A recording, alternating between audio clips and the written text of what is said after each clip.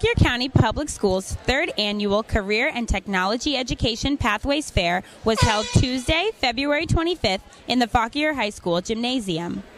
All eighth grade students in the county attended the event. Um, today, for the middle school CTE Pathways Fair, we had approximately a thousand middle schoolers um, from all five middle schools in Fauquier County, um, representing the eighth graders coming into the high school next year. Uh, it's a brainchild of a lot of people within the CTE department.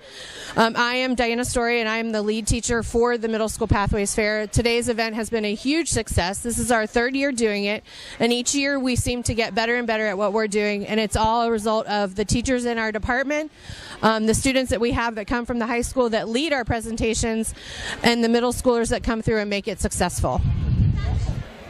So, Mrs. Frye, what is the purpose of this fair? Well, each year we bring rising ninth graders to a central location where we can showcase all of the career and technical education programs that will be available to them as they go to high school. Um, we have 14 different areas that we're presenting today, and there will be four minute demonstrations. They're all student driven. Students will talk about things that they do in their in their studies and courses, what the kind of careers they're thinking about, and what kind of post secondary training they may pursue. We're hoping that this will help students as they develop their career and academic plan and register for next year's classes. Students from Fauquier, Kettle Run, and Liberty led presentations and answered questions about the CTE courses available. From the health and med class, and we're doing demonstrations on the Heimlich maneuver. And we're also talking about what we do in the classes and our club, HOSA. What we enjoy most about what we're doing today is that we really get to give a lot of information to the eighth graders, and I know that um, they really appreciate it because as an eighth grader, I would have loved to have known about all these classes because it really helps um, when you're choosing a career and when you're expanding your future.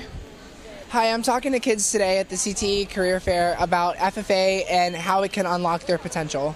We're talking to kids about the different classes like animal science and horticulture and floriculture and all the really cool classes. And we've been teaching kids about animals and the different types of engines and plants that they get to work with with the agriculture classes at their school.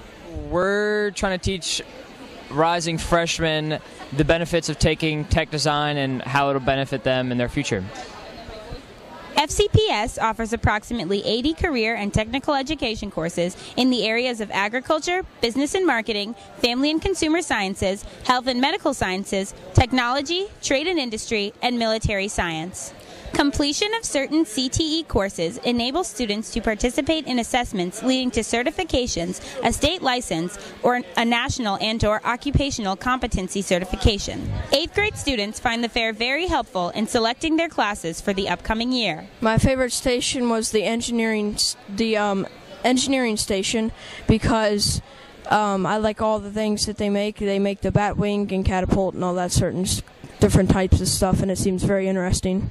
My favorite class here was cosmetology because I really liked how they styled the hair, and I think I might take that class next year. My favorite group was the teaching group because I would like to do something involving kids, and it really helped me. My favorite class was building trades and woodworking because it seems like a lot of fun and it seems like uh, something I could see myself doing in the future. Reporting for Fauquier County Public Schools, I'm Abby Duker.